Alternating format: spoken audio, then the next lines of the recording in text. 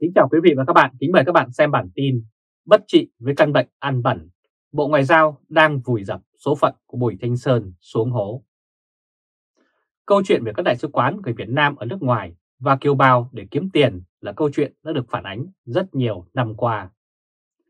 Các nhân viên của Tòa đại sứ Việt Nam có thể buôn lậu, ngả voi, sừng tê giác từ châu Phi, quan chức sứ phán sứ quán Việt Nam tại Chile, phơi vầy cá mập trên mái nhà, vân vân Nói chung, kiều bào Việt Nam không xa lạ gì với bộ mặt nhem nhuốc của Bộ Ngoại giao Việt Nam.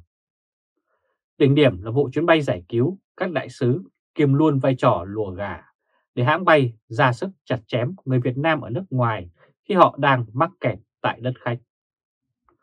Có thể nói, đấy là hành động vô nhân tính của chính Bộ Ngoại giao Việt Nam. Tiếng xấu họ gây ra vang ra khắp nơi, khiến cho Nguyễn Phú Trọng không thể không ra tay dọn dẹp. Tuy nhiên, dọn nhưng có sạch hay không lại là một câu chuyện khác. Đây là hình ảnh biểu tình phản đối lạm thu tại Đại sứ quán Việt Nam ở Ba Lan. Căn bệnh hành dân trục lợi trên nỗi khổ của dân là căn bệnh mãn tính. Đó là đảng viên Đảng Cộng sản không ai không tính đến chuyện kiếm trác để làm giàu. Câu chuyện về tham ô hạch sách dân để nặn cho ra tiền nó không chỉ ở ngành ngoại giao mà nó trổ ra ở tất cả các ngành nghề khác nhau trong và ngoài nước. Ông Nguyễn Phú Trọng đang muốn làm sạch đảng bằng chiến dịch đốt lò, nhưng cho đến nay dù ông đốt được nhiều nhưng đảng vẫn bẩn, bẩn khắp nơi, bẩn mọi ngành. Những gì thuộc về bản năng thì không thể trị được. Vụ chuyến bay giải cứu đã truy tố rất nhiều người, trong này có đến các ủy viên Bộ Chính trị, Phó Thủ tướng Thường trực Phạm Bình Minh cũng bị phế chuẩn. Nhưng xem ra toàn ngành ngoại giao vẫn chờ chờ không biết sợ. Cảnh đại sứ quán ở Việt Nam các nơi người dân đã bị cán bộ sứ quán trục lợi diễn ra như chưa hề có biến cố gì. Ông Bùi Thanh Sơn, Bộ trưởng Bộ Ngoại giao cũng dính đến vụ chuyến bay giải cứu và ông này cũng đã bị kỷ luật về mặt đảng. Bị kỷ luật về mặt đảng được xem là án treo. Nếu để Bộ Ngoại giao xảy ra tiêu cực tiếp thì rất có thể án kỷ luật này sẽ trở nên nặng hơn. Tuy nhiên mới đây, bà con người Việt Nam ở Ba Lan đã biểu tình vì Đại sứ quán Việt Nam tại Ba Lan hạch sách và làm tiền, cho thấy bệnh nan y của Bộ Ngoại giao đang trở nên bất trị. Đây là hình ảnh ông Phạm Bình Minh mất ghế do vụ chuyến bay giải cứu là lời cảnh báo cho ông Bùi Thanh Sơn. Câu hỏi đặt ra hiện nay là tại sao ông Bùi Thanh Sơn để chuyện này xảy ra Chẳng lẽ ông Sơn không biết hiện tượng này có thể chôn vùi sự nghiệp chính trị của ông xuống hố hay sao? Một người làm chính trị trèo đến cấp bộ trưởng thì không thể không nhìn thấy điều này. Tuy nhiên rất có thể ông Bùi Thanh Sơn đang bất lực chứ không phải ông muốn điều này xảy ra. Con người trong ngành ngoại giao được đảng đào tạo, họ được học tấm gương đạo đức của Hồ Chí Minh và họ được đảng bố trí công việc. Ông Bùi Thanh Sơn chỉ là người quản lý họ, chứ không đào tạo họ. Cho nên dù ông Sơn có bảo họ phải có đạo đức thì họ cũng không thể, vì họ đã nhiễm tấm gương đạo đức Hồ Chí Minh mất rồi. Tấm gương đã thực hiện chính sách cải cách ruộng đất và làm chết tới 17 vạn người Việt Nam vô tội, nhưng chẳng chịu chút trách nhiệm nào. Đây là hình ảnh chiếc ghế của ông Bùi Thanh Sơn đang nằm trong tay các đại sứ quán. Đốt lò làm trong sạch của Đảng chỉ là để lừa bị người dân cả tin. Những ai am hiểu về tình hình chính trị của Đảng Cộng sản Việt Nam đều biết như vậy. Đây là công cụ để triệt tiêu lẫn nhau. Ông Bùi Thanh Sơn là người gần gũi với ông Phạm Bình Minh. Chiếc ghế mà ông Sơn ngồi hôm nay có phần không nhỏ do lời giới thiệu của ông Phạm Bình Minh mà có. Một khi ông Phạm Bình Minh đã bị quật cho ngã ngựa, thì sự nghiệp chính trị của ông Bùi Thanh Sơn cũng khó mà yên. Đã qua nhiều đời bộ trưởng từ thời ông Phạm Bình Minh làm bộ trưởng thì vấn đề buôn lậu, hạnh hoẹ người dân đã luôn xảy ra. Dù ông nào lên làm bộ trưởng thì cũng không thể trị nổi căn bệnh đó. Nó thuộc về bản chất của chế độ. Ông Bùi Thanh Sơn hiện nay cứ như ngồi trên đống lửa vậy. Người nhóm lửa chưa hẳn thì là ông Nguyễn Phú Trọng mà có thể là các đại sứ ở các nơi. Ông lãnh sự quán tại Ba Lan bị cho thôi chức, nhưng còn nhiều đại sứ khác, lãnh sự khác nếu người Việt Nam ở khắp nơi trên thế giới biểu tình thì ghế của ông Bùi Thanh Sơn khó mà trụ cho được.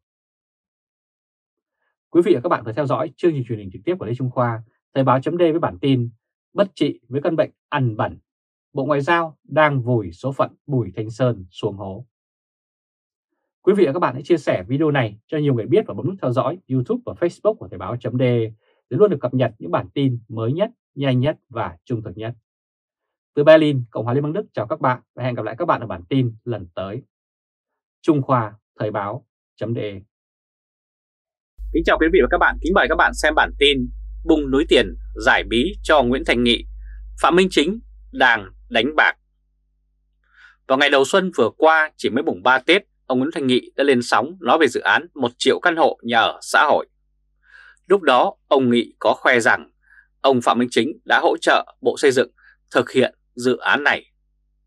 Được biết, hồi đầu tháng 8 năm 2022, ông Nguyễn Thanh Nghị đã gom hàng loạt ông lớn của các ngành bất động sản như Vingroup, Sun Group, Novaland, Himlam, Bitexco, vân vân, vận động họ đồng hành cùng chính phủ xây nhà ở xã hội.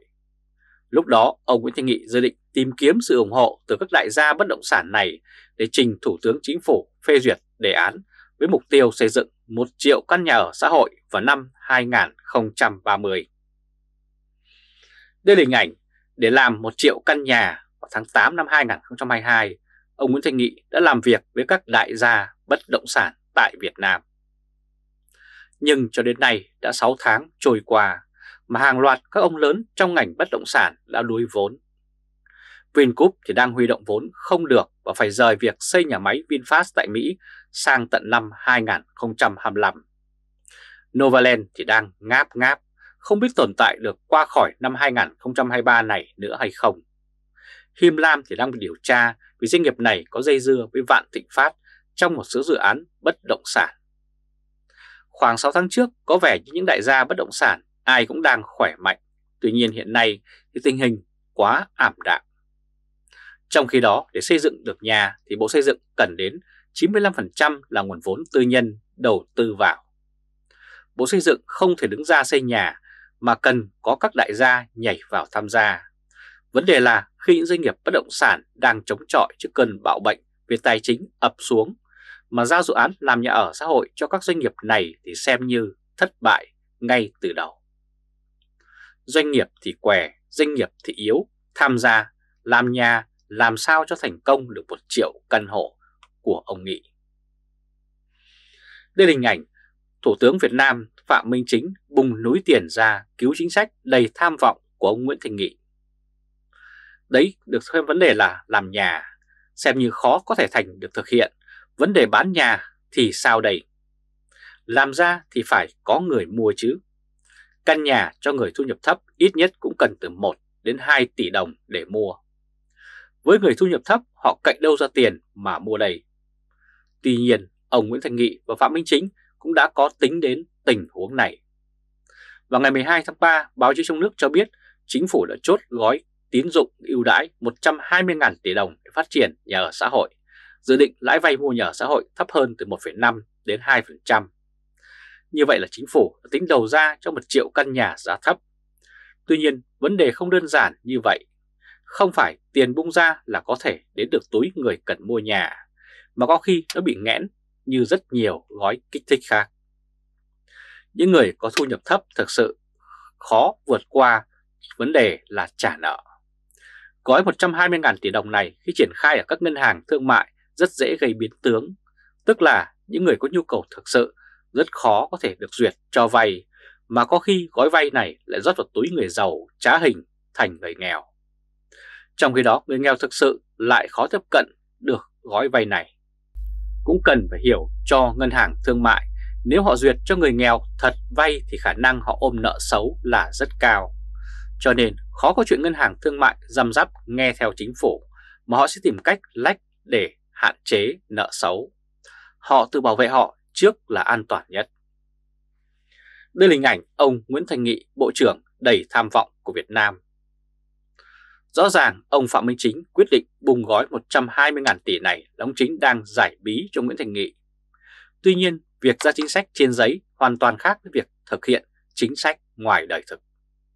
Chính quyền của Đảng Cộng sản Việt Nam chưa bao giờ thành công trong vấn đề hỗ trợ người nghèo để giảm bất bình đẳng xã hội, mà họ thường lợi dụng người nghèo để cho các sân sau của họ trục lợi. Trước mắt là giải bí cho Nguyễn Thành Nghị, còn sau đó thành công hay không tính sau. Phạm Minh Chính đã chơi một canh bạc, đặt cược vào chính sách của Nguyễn Thành Nghị. Nếu canh bạc này thất bại thì e rằng cả Phạm Minh Chính và Nguyễn thanh Nghị đều phải gánh lấy thất bại trên chính trường Việt Nam. Quý vị và các bạn vừa theo dõi chương trình truyền hình trực tiếp của Lê Trung Khoa, Thời báo chấm với bản tin Bùng núi tiền giải bí cho Nguyễn thanh Nghị, Phạm Minh Chính đang đánh bạc.